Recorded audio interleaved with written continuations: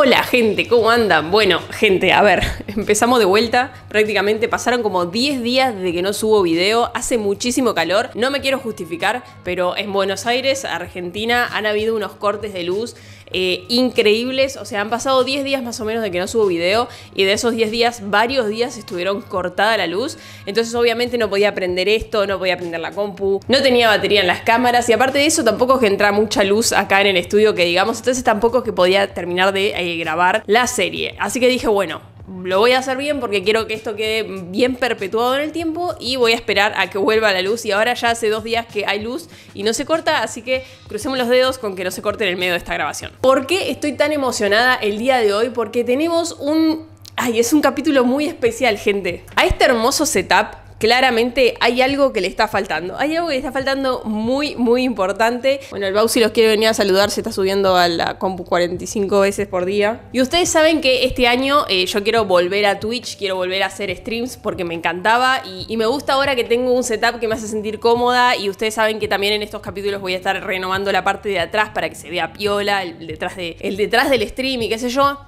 ¿Y qué pasa? Hay algunos juegos nuevos que están muy de moda y que yo siempre quise jugar, pero que no se podía jugar porque no existen para PC, o sea, están solamente hechos para PlayStation. Entonces me imagino que se darán cuenta por dónde viene la mano de este video. No la voy a hacer más larga.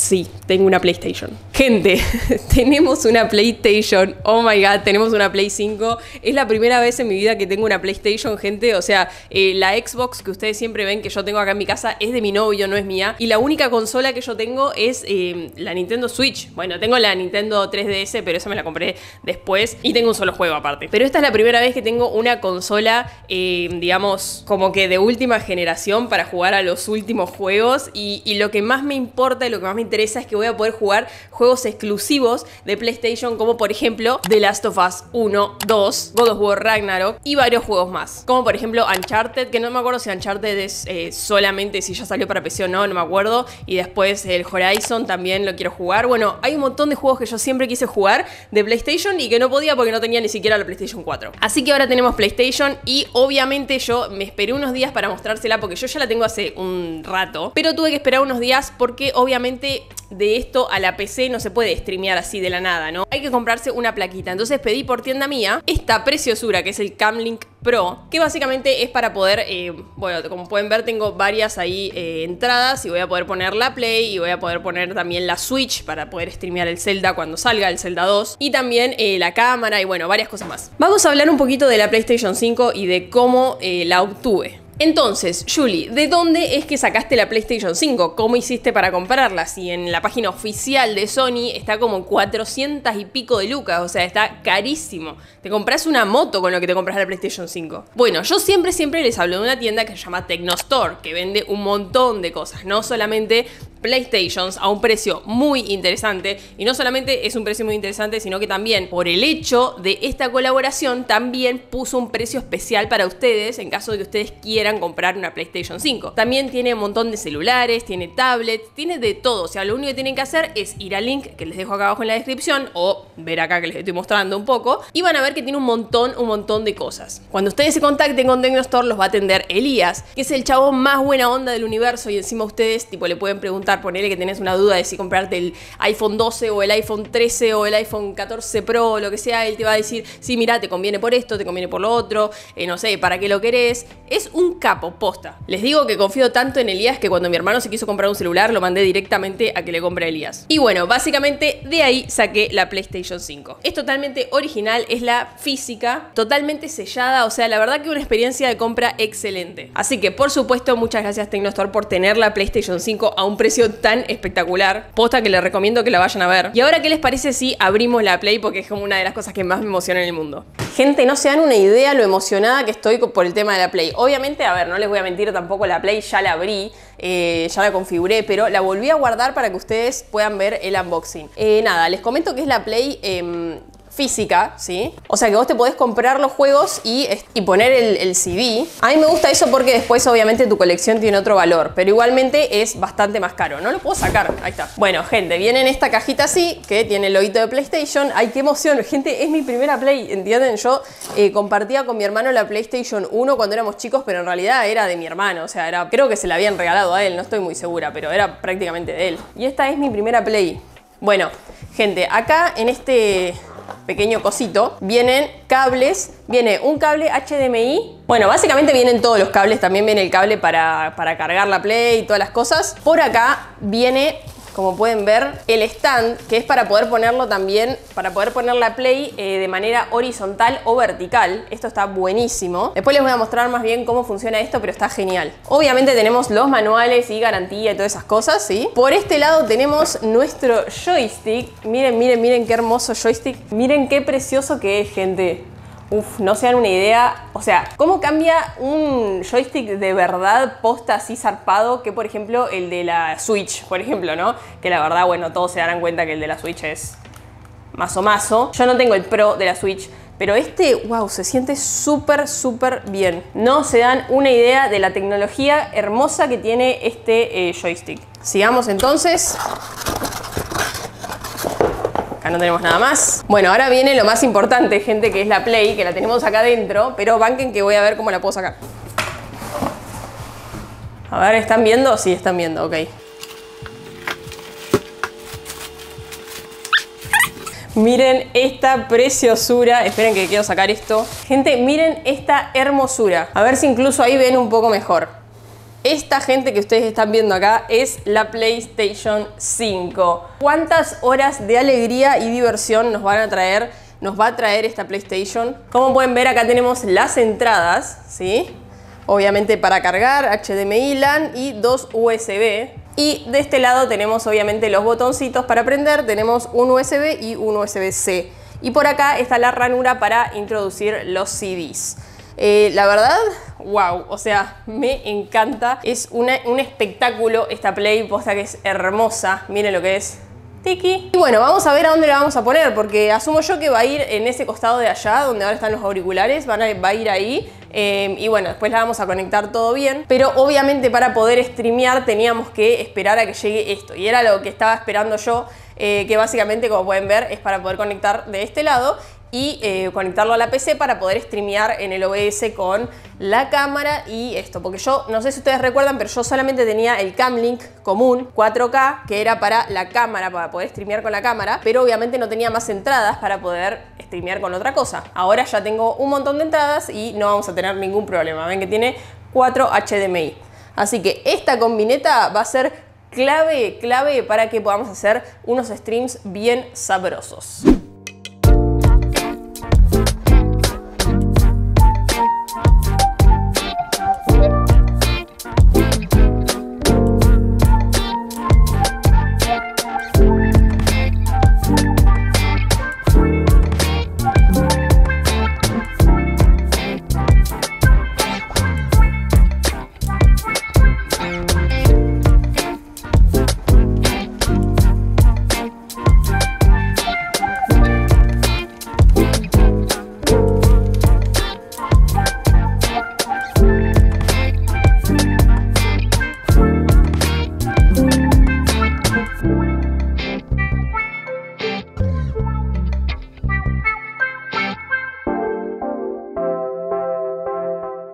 Gente, no se olviden que les voy a dejar el link para que vayan a Tecnostore, miren los precios y especialmente miren eh, la oferta especial que hizo Elías con respecto a la PlayStation 5 por esta colaboración. Les juro que no puedo dejar de tocar este joystick, gente, que qué bien que se siente, no lo puedo ni creer.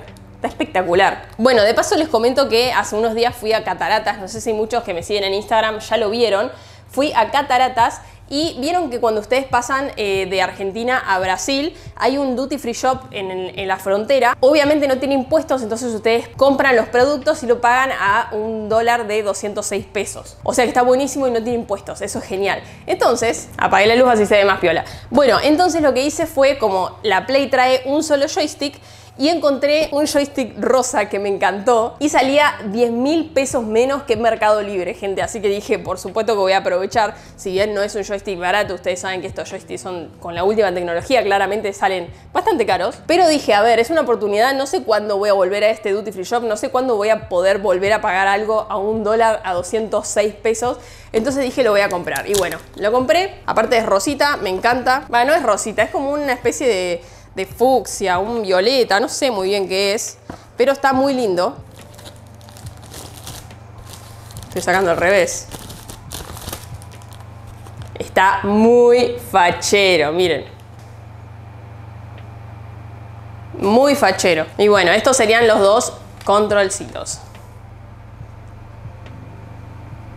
Bueno, gente, ahora que les mostré la Play, prosigamos con las cosas que tenemos que hacer en este video porque son muchas y me tengo que apurar, gente. No puedo seguir, extendiendo la espera para poder empezar a probar la Play, para poder empezar a streamear con la Play y empezar a jugar los juegos. A ver, ya terminó toda la primera temporada de Last of Us en HBO Max y yo todavía no jugué el juego. Gente, qué desastre. Ya lo tengo al juego. Ya compré el PlayStation Plus para poder jugarlos. Así que estoy súper, súper emocionada y ya quiero empezar. Pero para eso tengo que terminar el estudio. Así que vamos a seguir con el estudio un poco más el día de hoy y vamos a tratar de sacarlo más rápido porque me estoy atrasando muchísimo. Por favor, Edesur, no me cortes la luz de vuelta. Bueno, hagamos un repaso de las cosas que todavía faltan hacer como para que más o menos nos hagamos una idea. Ahí vamos a poner toda la pared con eh, los paneles, los mismos paneles que tengo acá atrás, esos, pero los vamos a poner de este lado, ¿sí? Así que vamos a poner eso, todo eso ahí. Y voy a ver si puedo plotear esta mesa que tenemos acá. Después lo vamos a ver a ver qué onda. Porque esta parte la tengo como pensada para poner para hacer b-roll y ese tipo de cosas, entonces bueno, quedaría muy piola. Después, esta parte de acá la vamos a tener que modificar. Como ustedes se acuerdan, puse eso, pero me quedaban estos agujeros, entonces hay que tapar estos agujeros. No sé si voy a llegar a pintar, porque tendría que pintar toda la pared, no puedo pintar un pedazo nada más.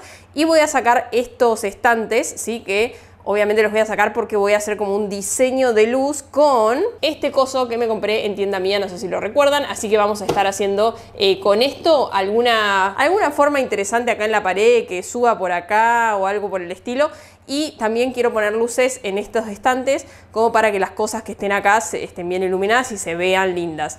Vamos a dejar este y vamos a poner uno de los Sims que todavía no tengo que comprar, no sé dónde comprarlo, si alguien eh, me quiere recomendar algún lugar para comprar de estos neones. Me gustan estos que son así, ¿vieron? O sea que son como que, como que se ve la pared. No quiero de esos que tienen como un acrílico, no me gustan mucho, me gustan más estos, así que bueno. Yo diría que arranquemos poniendo los paneles acá. Bueno gente, acá ya liberé el espacio y esta es la pared que vamos a llenar de eh, los paneles, así que los voy a traer. Como pueden ver me sobraron bastantes paneles, o sea parece que fueran poquitos pero son bastantes, así que me va a alcanzar perfectamente bien para poner eh, varios acá. Entonces la idea es poner varios para arriba y después iluminarlos ahí con, las mini luces que yo tengo eh, como para poder hacer tomas b-roll que queden bien piolas. Así que voy a empezar a hacerlo y nos vemos en un ratito. Para pegarlos voy a seguir usando esta cinta doble faz eh, de la marca Taxa. No sé, la conseguí. Bueno, ustedes vieron cuando la compré. Eh, que básicamente me está yendo bastante bien con esto. O sea, posta que le pongo unos puntitos nomás y ya pega re bien. No se me despegó ninguno de los que tengo, así que joya.